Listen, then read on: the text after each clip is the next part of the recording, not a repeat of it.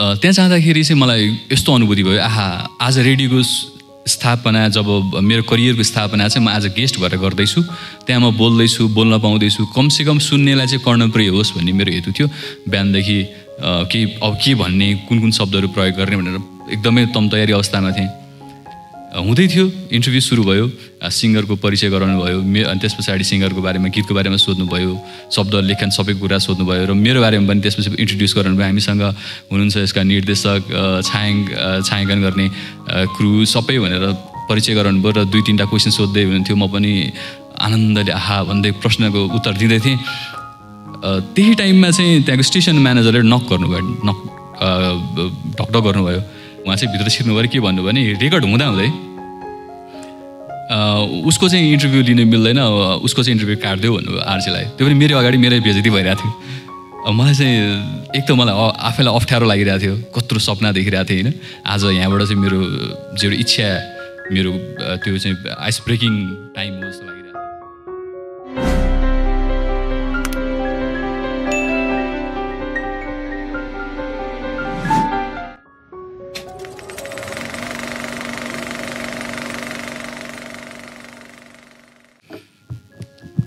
सबैलाई नमस्ते। मेरो परिचय बनेको स्टोरी टेलर भनेर आज संयोगवश स्टोरी येलरमा आएको छु। केही कथा सुनाउला यसले भनेर कतिलाई कौतलता पनि भएको होला। आज मेरो एउटा नोभल जुन अत्याधिक मन पराइएको छ त्यसमा मेरो पहिलो लाइन छ। आज साइग्रेसले कुन टपिकमा स्टोरी भन्छ भनेर सोच्दै बस्नुभयो होला है। म आज मेरो लभ स्टोरी भन्दैछु। मलाई थाहा छ लभ स्टोरी भन्ने बित्तिकै कतिको अनुहारमा मुस्कान आइसकेको छ। कतिको अनुहारमा मुस्कान आयो? लभ स्टोरी भन्दाखेरि? रमाइलो लाग्छ नि लभ स्टोरी सुन्दाखेरि। तर म मेरो सङ्घर्षको कथाबाट सुरु गर्छु है। किनभने यो स्टेजमा टेकिसके पछाडि सङ्घर्षको कथा भन्नै पर्छ। मैले तिन दिन खाना खाइनँ चार दिन म रोडमा सुतेँ भन्ने यस्ता कथा मेरा केही पनि छैनन्। मेरा सङ्घर्षका कथाहरू मैले माइलेज नपाएका मैले गर्दा गर्दै पनि सम्भव नहोला जस्तो अनुभव भएका अनुभूतिहरू छन्। तर त्योभन्दा अगाडि मेरा केही रमाइला प्रसङ्गहरू यहाँ जोड्न चाहन्छु। सानोमा हामी सायद साउथ एसियन युवाहरूलाई नै भनौँ त्यो ब्राकेटमा राख्छु। एउटा अचम्मको रोग लाग्छ जे देख्यो त्यही बन्न मन लाग्छ। चलचित्रमा हिरो देख्यो हिरो बन्न मन लाग्छ। राम्रो पत्रकार देख्यो पत्रकार बन्न मन लाग्छ। पुलिस या खुकुरी क्रस चिन्ह लिएर हिँडेको पुलिस देख्यो भने म पनि पुलिस भनौँ कि जस्तो लाग्छ। मलाई त्यही कुराले निर्देशित गरिरहन्थ्यो। मलाई रेडियो टेलिभिजनमा बोल्ने मान्छेहरूको बेग्लै किसिमको चमक लाग्थ्यो। एकदम मिसिभियस थिएँ सानोमा म। म र मेरो भाइ मात्रै छौँ दाजुभाइमा। भाइ पनि म जस्तै फटाफटा टाइपको थियो हामी सानोमा। अनि टेलिभिजनमा हामी सानो हुँदाखेरि एकदम त्यो चौध इन्चको ब्ल्याक एन्ड व्हाइट टेलिभिजन पहिलोचोटि लिएर आउँदाखेरि घरमा एकदम आनन्द लागेको थियो। ओहो हाम्रो घरमा टिभी आयो अब अर्काको घरमा चप्पल बाहिर खोलेर ढोकामा तल बस्नु पर्दैन जस्तो लाग्थ्यो।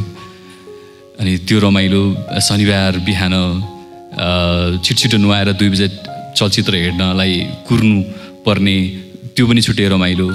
अर्को सबैलाई ताजै छ त्यो हामी नाइन्टिज किडहरूलाई बेसिकली थाहा हुन्छ। अलि राम्रोसँग घुमा त भन्दै एन्टिना त्यो ताक्ने अनि अलि आयो त्यहाँ होइन अलि झ्यार्दा रहेछ भन्ने त्यो समय त्यो प्रसङ्ग नै बेग्लै रमाइलो हुन्थ्यो। म पनि त्यही हुर्काइमा हुर्केको त्यो बेलामा गीताञ्जली भन्ने प्रोग्राम आउँथ्यो। यो केटीको ठिक छैन चाला भन्ने गीत बजिरहेको थियो। त्यो बेलामा चाहिँ मलाई कस्तो अनुभव भयो भने यो सानै कलिलो मस्तिष्क यो टेलिभिजन पछाडि को हुन्छ होला? मान्छे पनि हुन्छ कि? जस्तो कस्तो अचम्मको अचम्मको त्यो कौतलता जाग्थ्यो तर फेरि थाहा हुन्थ्यो यत्रो सानो टिभीमा मान्छे कसरी हट्छ एकदम खोल्न मन लाग्थ्यो। बुवा मम्मी नभएको बेलामा मैले भाइलाई यो खोलेर हेरौँ भने। किनभने मलाई त्यहाँ टेलिभिजनमा आएको मान्छे जस्तै बन्न मन लाग्थ्यो। रेडियोमा सुन जसको आवाज सुनिन्थ्यो त्यस्तै रेडियोमा पनि बोल्न पाए हुन्थ्यो जस्तो लाग्थ्यो मलाई। अनि खोल्नलाई हामीसँग त्यो पेचकसहरू थिएन। घरमा राखेको त्यो आलु काट्ने चक्कु लिएर आइज भने मैले अनि त्यो धार बिगारी बिगारी हामी त्यो टिभी खोल्यौँ। टिभी खोलिसके पछाडि त्यहाँ त्यो मोनिटरको त्यो डल्लो मात्र देख्यौँ ए यस्तै रहेछ यो मेकान पुरै मेकानिकल रहेछ भन्ने भयो। अनि त्यो खोल्ने क्रममा हामीले के बिगाऱ्यौँ थाहा छैन। जस्तो तस्तो हामीले फिट गरिदियौँ। बेलुका टेलिभिजन हेर्दाखेरि टेलिभिजन त चल्यो तर आधा मात्रै आयो।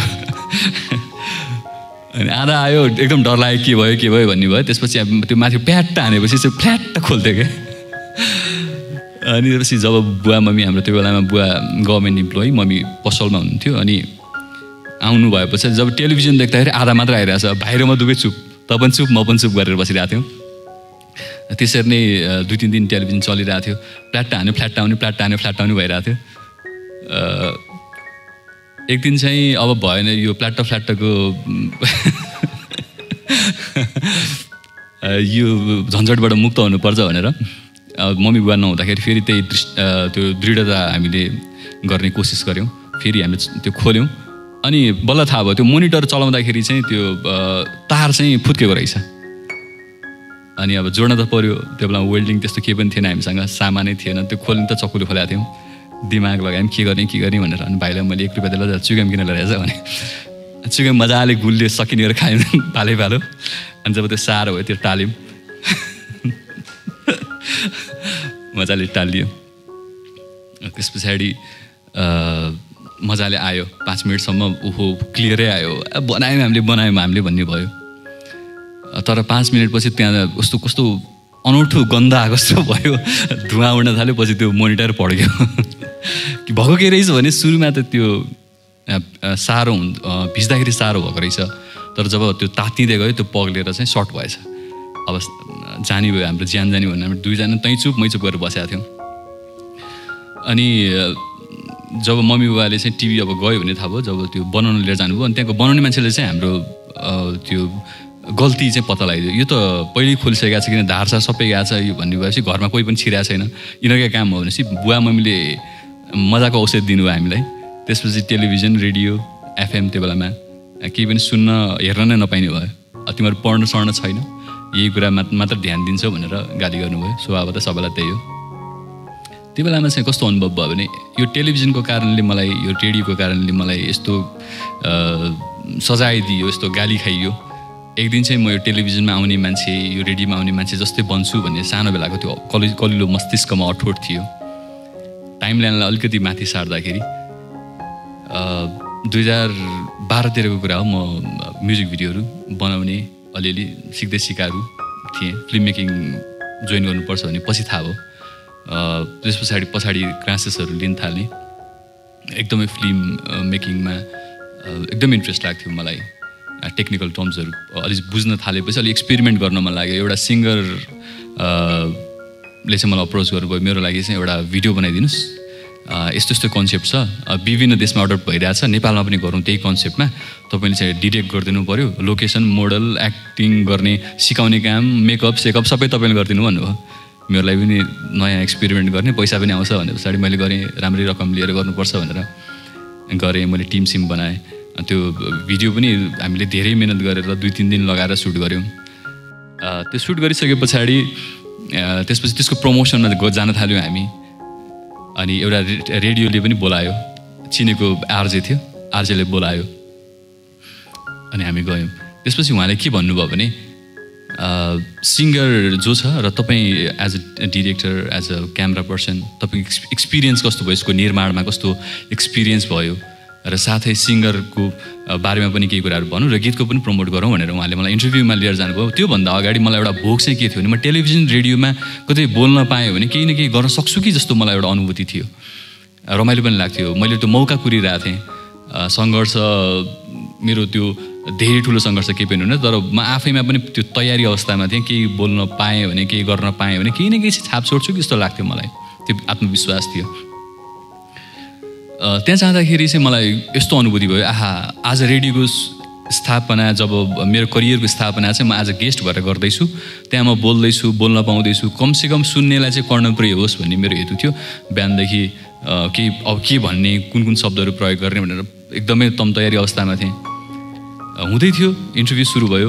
सिङ्गरको परिचय गराउनु भयो। मे अनि त्यस पछाडि सिङ्गरको बारेमा गीतको बारेमा सोध्नुभयो शब्द लेखन सबै कुरा सोध्नुभयो र मेरो बारेमा पनि त्यसपछि इन्ट्रोड्युस गराउनु भयो। हामीसँग हुनुहुन्छ यसका निर्देशक छायाङ छायाङ्कन गर्ने क्रु सबै भनेर परिचय गराउनु भयो र दुई तिनवटा क्वेसन सोध्दै हुनुहुन्थ्यो। म पनि आनन्दले आहा भन्दै प्रश्नको उत्तर दिँदै थिएँ।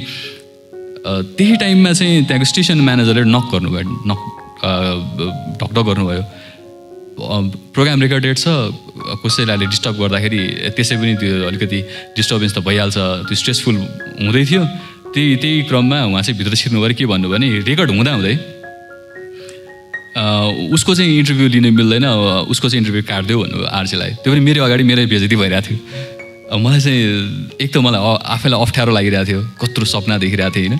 आज यहाँबाट चाहिँ मेरो जो इच्छा मेरो त्यो चाहिँ आइस ब्रेकिङ टाइम हो जस्तो लागिरहेको थियो। त्यो टाइममा चाहिँ मलाई नै मेरै अगाडि फेरि मैले चिनेकै आर्जेको अगाडि फेरि मेरै सिङ्गरको अगाडि सबैको अगाडि सामूहिक बेजत गर्दाखेरि चाहिँ कस्तो खिन लगाएर त्यही पनि हाँसिरहेको थिएँ म। एन्ड देन आफ्टर त्यो आरजे भाइ पनि अब आफ्नो स्टेसन म्यानेजरले भनेपछि नाइ भन्न पनि सकेन। उसले पनि हुन्छ भन्यो। अनि सिङ्गरले पनि मलाई हेऱ्यो ल मलाई यही दाइले प्रमोट गर्न लिएर आएको यही दाइलाई यस्तो भयो भन्ने भयो। त्यो त्यहाँ एकअर्काले एकअर्काको बेजती मलाई बेजती भएको महसुस गरिसकेको थियो तर कसैले कसैलाई पनि केही पनि बोलेन। सबैजना ओके इट्स ओके टाइपले गरिरहेको थियो। त्यो रियाक्सन दिइरहेको थियो। म पनि मलाई शान्त भनेर थिएँ। अँ ठिकै छ नि। होइन उहाँको हो। उहाँलाई प्रमोट गर्नुपर्छ भन्ने भएको थियो। ठिकै भएको थियो। तर त्यो दिन मलाई एकदम ठुलो इक भएको थियो। इक इन अ सेन्स रिभेन्ज होइन कि म आफैले आफैलाई इक यस्तो फिल भएको थियो कि जिन्दगीमा अब म रेडियो टेलिभिजनमा कहिले पनि आउँदिनँ। म आरजे भिजे म अब कहिले पनि बन्दिनँ। जिन्दगीमा बन्यो भने यस्तो बन्छु मान्छेहरू मेरो आवाज सुनेर आनन्द मानोस् जस्तो लाग्थ्यो मलाई। त्यो दिनदेखि मलाई प्रण भएको थियो। अनि नेपाल अस्ति आएँ म। नेपाल आइसके पछाडि सम्भवतः त्यो मान्छे फिजिकल नहुँदाखेरि पनि त्यति धेरै वास्ता हुँदैन होला। फिजिकल भइसके पछाडि फिजिकली मेरो प्रेजेन्स भइसक्यो मेरो उपस्थिति भइसकेपछि भौतिक रूपमा काहीँ न काहीँ भेटौँ यो मान्छेको। केही अन्तर्वार्ता लिउँ भने त्यो हुटुटी हुन्थ्यो होला हुन्छ होला र भइरहेको होला। धेरै मिडिया हाउसेसहरूले फोन गरिरहनु भएको थियो। मेरो नम्बर मैले सार्वजनिक गरेको थिइनँ तर थोरैलाई थाहा भए पनि कहाँ कहाँबाट सेयर भइसकेको रहेछ। एउटा बिहान मेरो धनगढी टुरभन्दा अगाडि मलाई फोन आयो। अनि फोन आइसके पछाडि मेरो नम्बर कसैलाई सेयर थिएन सायद पक्कै पनि यो इभेन्ट अर्गनाइजरकै फोन होला भने उठाएँ।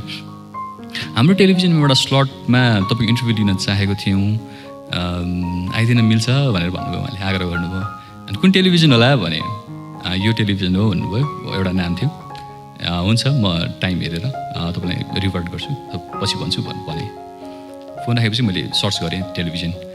अनि टेलिभिजनमा जुन फोन गर्नु भएको अप्पर अर्डिनेट्स हुनुहुन्थ्यो उहाँको सब अर्डिनेट चाहिँ जसले मलाई चाहिँ त्यो बेलामा टेलिभि रेडियोमा चाहिँ इन्टरभ्यू दिँदा दिँदा रोक्नु भएको थियो। उहाँ उहाँले उहाँकै स अप्पर अर्डिनेट्सले फोन गर्नुभएको छ हाम्रोमा आइदिनु भनेर। त्यो बेला मलाई अनुभव भयो। सम्भवतः मैले त्यो दिन इख नलिएको भए सम्भवतः त्यो दिनमा मैले त्यो अनुभव अनुभूति नलिएको भए कि म केही न केही चाहिँ प्रभाव पार्ने कुरा गर्नुपर्छ मैले। केही न कुरा केही कुरामा चाहिँ म इमान्दार भएर लागिरहनुपर्छ भन्ने अनुभव त्यो बेलामा मैले नपाएको भए सायद जुन दिन अस्ति मैले फोन पाएँ उहाँकै टेलिभिजन र उहाँकै अप्पर अर्डिनेट्सले त्यसरी बोलाउनु हुन्न थियो भन्ने कुरा मैले बुझेँ। र यो प्रत्याभूति गर्नलाई यो अनुभव गर्नको लागि जुन मैले सुरुमा भनेँ नि मेरो आज प्रेम कथा सुनाउँछु भनेर अब कनेक्टिङ डट त्यहाँ जाँदैछ। त्यो दिनको फोन उठाउनको लागि म लायक त्यस दिन मात्रै भएँ। जुन दिन मेरो जीवनमा एउटा ठुलो युटर्न मान्छु म त्यसलाई त्यो भयो। सबैलाई आफ्नो आवश्यकता हुन्छ। कसैलाई सानो हुँदाखेरि मलाई साइकलको पाङ्रा भए पुग्छ म त्यो गुडाउन पाएँ खुसी हुन्छु जस्तो लाग्छ। जब अलिकति ठुलो भइन्छ साइकलको आवश्यकता महसुस हुन्छ। साइकल पाएन भने मेरो जिन्दगी नै सकियो जस्तो लाग्छ। त्यसै गरी जब कलेजमा पुगिन्छ एउटा मोटरसाइकलको आवश्यकता भयो जस्तो लाग्छ। एउटा मोटरसाइकल भइदियो त यस्तो रमाइलो हुन्थ्यो जस्तो लाग्छ। अलिकति हुर्किँदै गयो। परिवार भयो। एउटा कार त चाहिन्छ यार। परिवार छ परिवारलाई लिएर त जानुपर्छ भन्ने एउटा आवश्यकता महसुस हुन्छ। त्यस गरी मान्छेको आवश्यकता र चाहनाहरू एकदम बढ्दै जान्छ। सोसल पिरामिड माथि पुगिसके पछाडि मान्छेलाई अब एउटा कार छ फ्यामिली छ राम्रो बिजनेस छ एउटा प्राइभेट जेट भइदियो हुन्थ्यो जस्तो लाग्छ। त्यो इच्छा कहिले पनि पूर्ति हुँदैन। त्यही आवश्यकताको क्रममा मलाई मेरो जीवनमा एउटा ठुलो आवश्यकता थियो। त्यो त्यो आवश्यकता कसैको साथको थियो।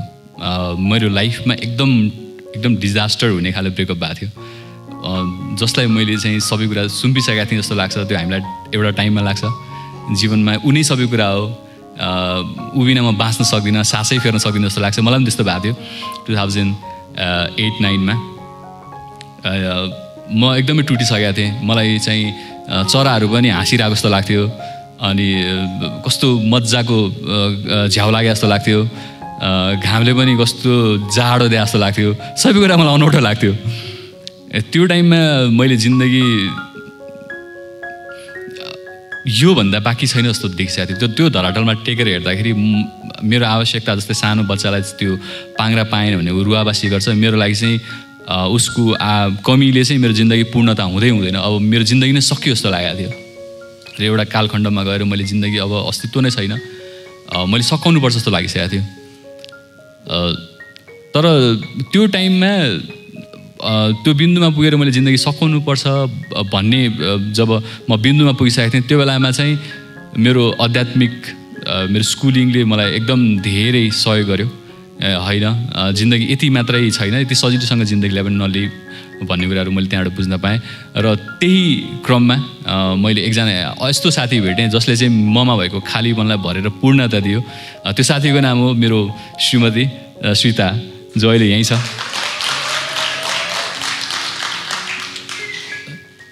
मेरो सङ्घर्षको कथा केही पनि छैन तर मेरो जीवनमा यदि मलाई कसैले स्टोरी टेलर अथवा कथा वाचक अथवा कथाकार भनेर चिन्नुहुन्छ चिनिनुहुन्छ अथवा चिन्नुहुन्छ अथवा म चिनिन्छु भने चाहिँ यसको श्रेय चाहिँ म मेरो श्रीमतीलाई दिन चाहन्छु। किनभने जब म खाली खाली महसुस गर्थेँ तब उसले मलाई शब्दहरूले भरिदिन्थ्यो।